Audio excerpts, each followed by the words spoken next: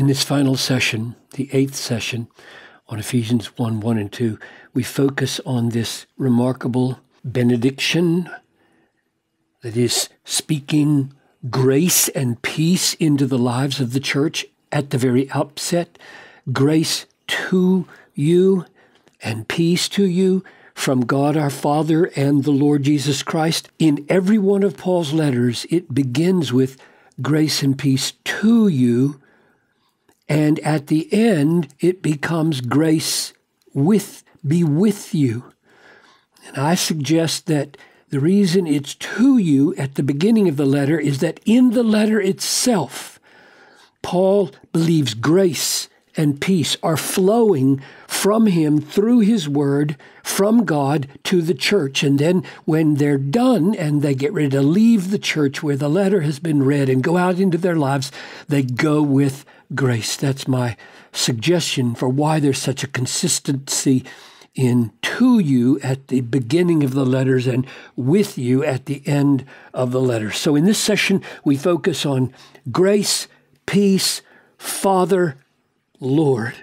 Father, grant that we would see these four massive realities for what they really are and their impact in our lives. I pray in Jesus' name.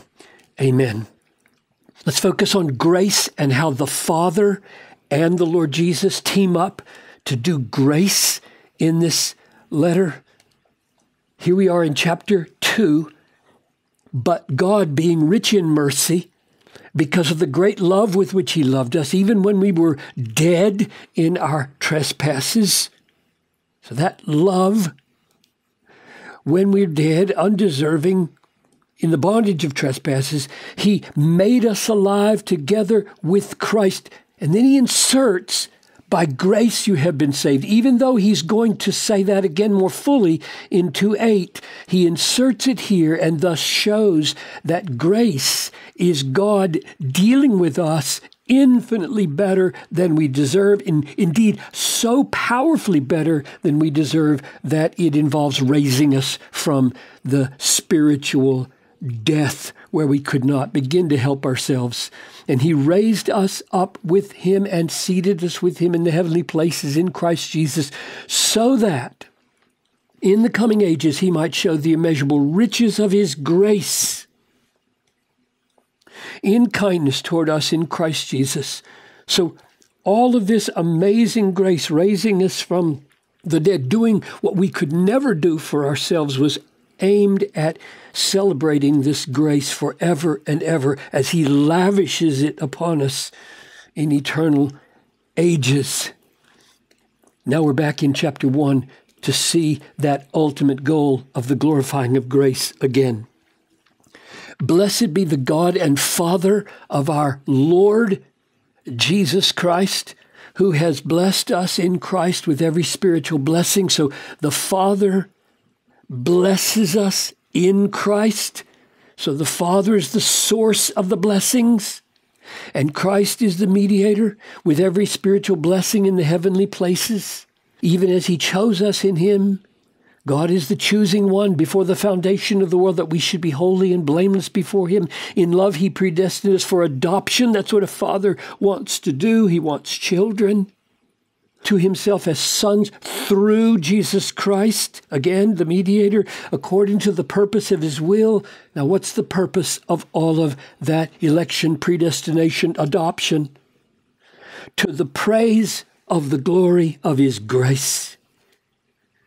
So, grace is massively central in this letter. Everything in all of history, all of redemption, is to praise praise the glory of grace.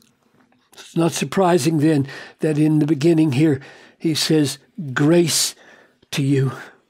Therefore, give thanks always for everything to God the Father in the name of our Lord Jesus Christ. So the Father is the origin, the source of all good, and it all flows through Jesus Christ so that thanks go backwards through Jesus Christ to God the Father. Now we turn to peace.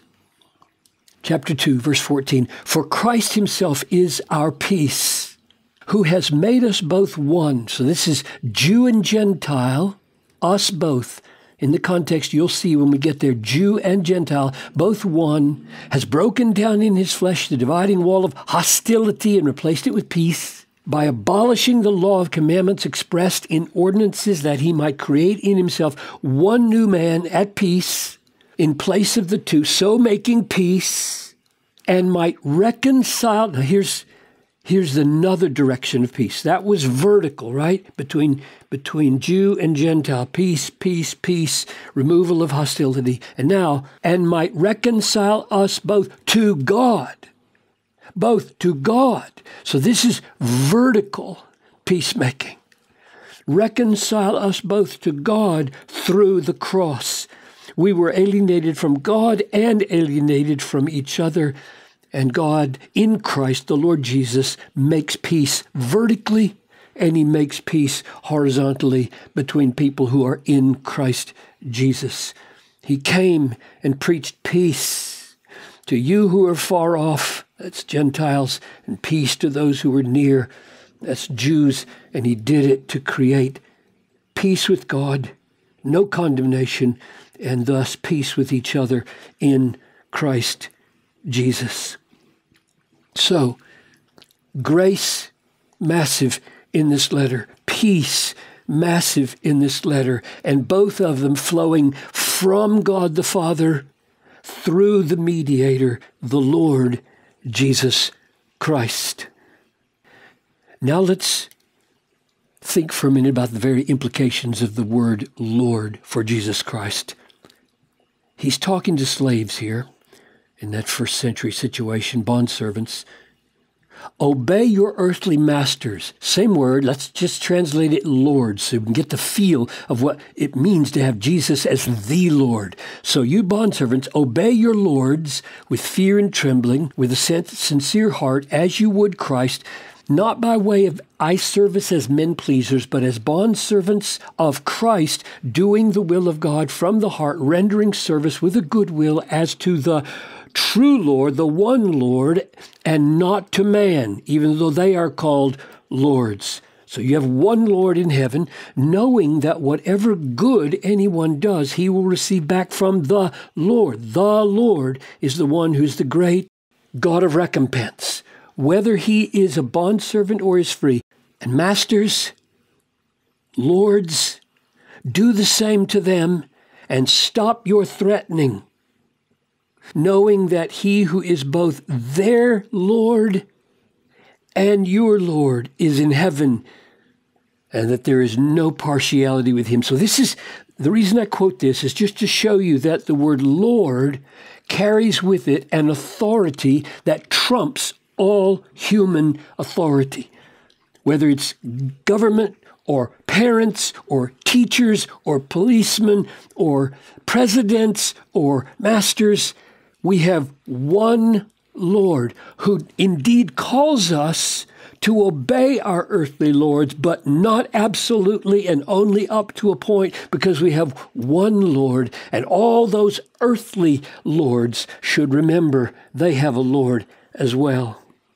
And let's close by just reminding ourselves that we become Christians by seeing and savoring, cherishing the Lordship of Christ. If you confess with your mouth that Jesus is Lord and believe in your heart that God raised him from, dead, from the dead, you will be saved. You become a Christian by embracing Jesus for all he is, including Lord.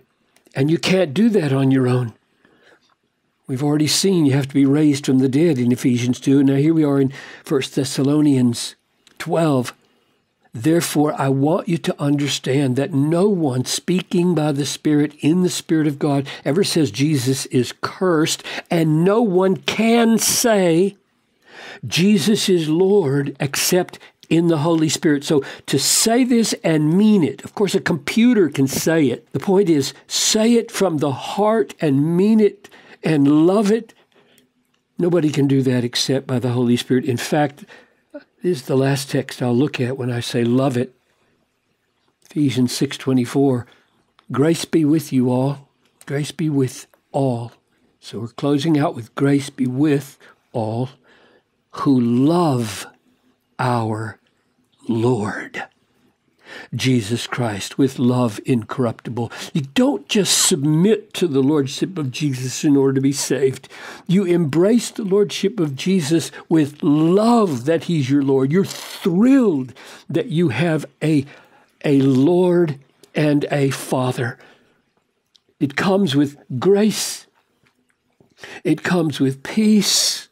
It flows from God the Father. It flows through the triumphant, invincible lordship of Jesus Christ, and it lands on us with this incredible word in verse 7 of chapter 2 the riches of his grace in kindness toward us in Christ Jesus forever and ever. So, this is huge. Grace totally undeserved, infinite better treatment than we ever could imagine coming to us dead in our trespasses.